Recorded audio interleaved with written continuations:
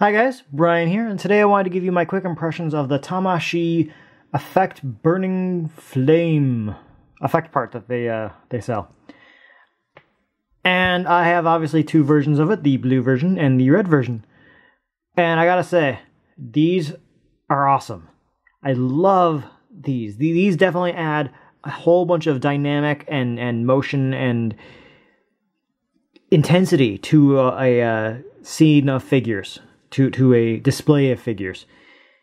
That I also can use them for Dungeons and Dragons because if I grab a D&D style miniature, although that's actually a, for a superhero game,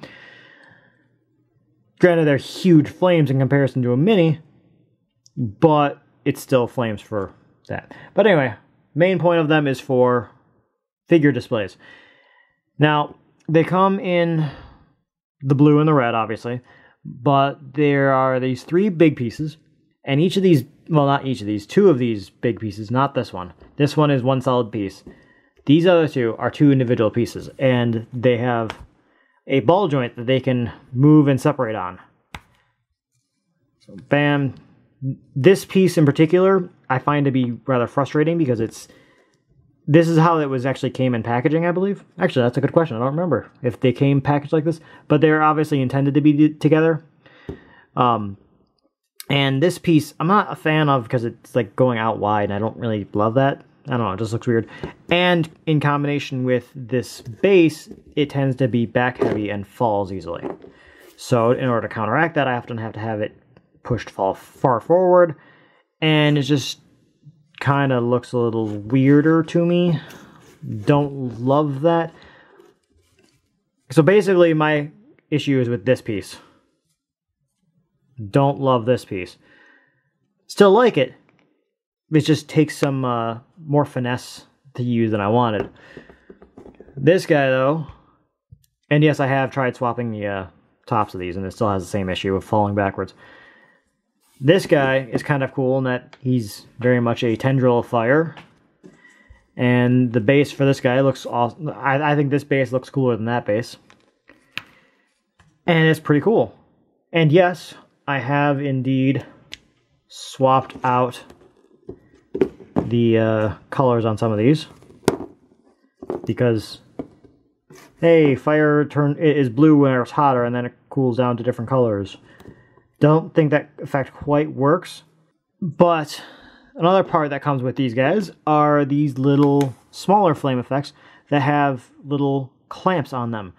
Now, as you probably noticed in like my cell video, I clamped these around Cell's legs and they are pretty wide and so they have some flex, but they are two separate pieces, or at least most of these. I think they're all two separate pieces. I haven't fully confirmed that for everything. I think I see the seam there, but I'm not 100% sure on that. Basically, I'm concerned about stretching these guys out as I put uh, them around something that is bigger than this hole. But worst case scenario, if I break it and, and snap that at that joint, I think, I'm pretty sure some super glue will probably be able to fix that. I'm not super concerned about it. They seem to be rather pliable. And they've got each four different uh, little versions of the uh, clamping fire. And these are awesome. And one of the cool things is having two sets of these, even in two different colors, uh, you can kind of... I, I worry about repeated patterns because the eyes tend to recognize repeated patterns. So if I have two pieces that are exactly the same, even if they're in different colors. Your eye might very easily go, huh, see, that, that's how it's falling back.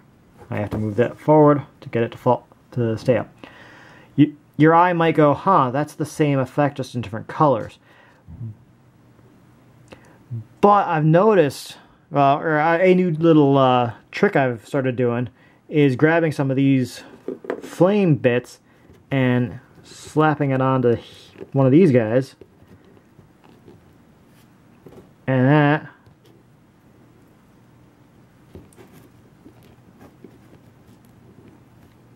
and that breaks up the silhouette. So now they don't look identical anymore. And that gives me some variety that I can do with that. But hey, actually now that I think about it, let's go ahead and show you something slapped onto that. I happen to have Vegeta sitting right here. And Vegeta, your arm is on fire now. Bam. That actually looks rather painful, but it definitely looks like a more dynamic scene than uh, he was just a moment ago without it. Just in this pose, having that fire there. Then I can grab another little piece here and let's go around his knee, which is a little bit thinner. Grab another piece. And let's uh, raise his arm. Let's grab another piece and slap it on his arm in a strange position apparently. Instantly, much more dynamic scene. Like Vegeta's having a bad day, it looks like. So I love these. So yeah, I think I would say that if Tamashii decided to release like a pack of, say, 12 different versions, 12 different variants of fire in this style, like, you know, C-clamp fire effects, I think I would be tempted to buy those. These C-clamp fire effects have actually been like one of the coolest things about these uh, flame effects to me. I see I bought them originally basically for this so that I can go like, "Hey Vegeta, you're powering up. Yay!" cuz I need effects to show you're powering up. Something big and grandiose. But the subtle guys, I always underestimate the subtle guys. Well, maybe I don't, but I underestimated the subtle guys. The I dropped it. These little flame effects just are small little things that can change the dynamic of a scene. Like, let's grab cogwheel here. No. Yeah, this is a cogwheel. Trash talking. Yeah, yeah, yeah. I can slap this thing on the end of his barrel, and hey, he just fired it. small, small, subtle things can make this whole scene feel a little different. So, that's basically my opinion on these guys. They're awesome. If you want any sort of dynamic added to any sort of figure scene, I highly recommend them. I am super tempted to buy more of these guys because the more more is better in this case. So there's my opinion on them, guys. Let me know what you think. Am I overdoing it with the flame effects? Have I uh, oversaturated it? Are I not doing too much of them? Let me know what you guys think. Bye.